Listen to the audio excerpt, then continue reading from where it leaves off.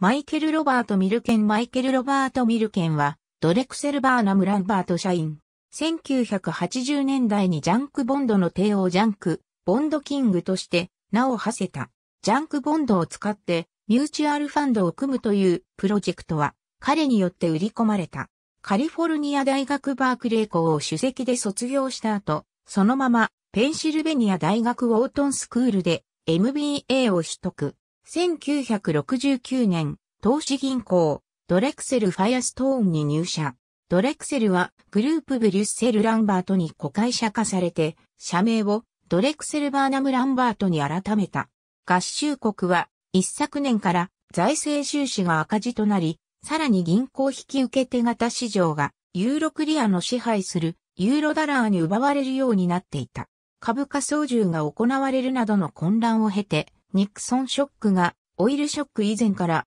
慢性インフレにしてしまった。しばらくは株も債券も不況となり、投信業界はマネーマーケットファンドを売って食いつないだ。1980年代もインフレの根源となる事情は特に解決されていなかった。そこでビジネスチャンスが人工的に作られるようになった。それは最終目標を別として差し当たりデフォルトリスクを利用することだった。レーガノミックスがインフレに追い打ちをかけて、市場金利は高止まりしていた。レーノルズのような企業は、経営権を止め置くための直接金融に大変不自由していた。しかしドレクセルバーナム・ランバートは、そうしたリスクのある社債を進んで引き受けたのである。格付け会社の評価で、リスクプレミアムがついた社債をハイイールド債とかジャンク債という。これをドレクセルが引き受けた理由は、第一に、利回りが良いからである。第二は、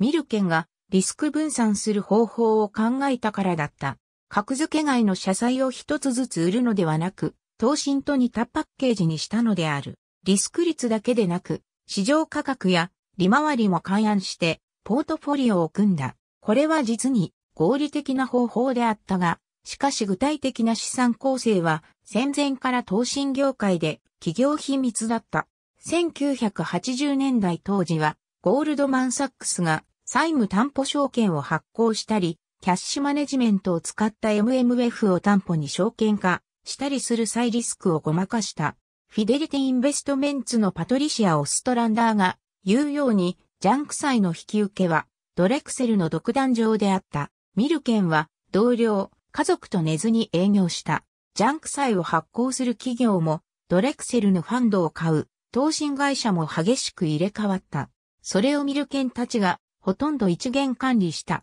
業務をこなしながらドレクセルは、ジャンク債発行元の財務状況を把握するようになった。ドレクセルは、コールバーグ・クラビス・ロバーツのジャンク債も引き受けた。これを発行する目的は、レーノルズと異なって、レバレッジドバイアウトをするためであった。老房の旨味は対象企業の財務状況によるため、ドレクセルは資金と一緒に情報も提供した。分け相応の M&A にも同様の対応がなされた。財務状況に関する情報は M&A に便乗するさや取りにも流れた。マーティン・シーゲルとアイバン・ボースキーである。ドレフィウス紹介のカール・アイカーンはメロン財閥に近くドレクセルを迂回しても情報が得られる立場にあった。こうして、債券市場と株式市場の垣根は崩れた。株価の激動するウォール街で、ミルケンが注目を浴びた。前世紀の年収は、会社からの給料、ボーナスだけで5億ドルを超えた。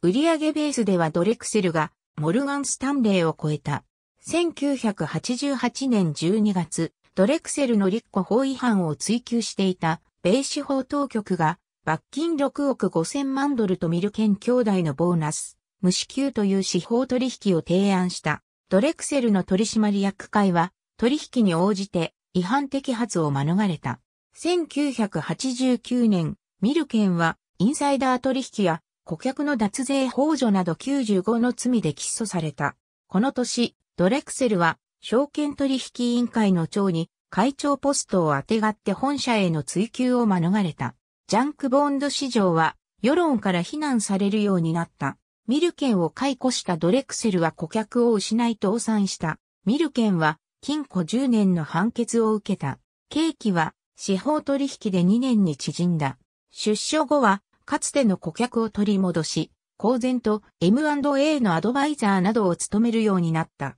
ミルケンは第1回イグノーベル賞を受賞した。リンガ・ゴスデン・ロビンソンによる広報活動が再起に貢献した。ガンに病んだミルケンに代わり、ドレクセルとフィデリティがビッグディールを取り仕切った。2007年時点でミルケンの資産は21億ドルとされ、フォーブスの億万長者ランキングで458位となった。ありがとうございます。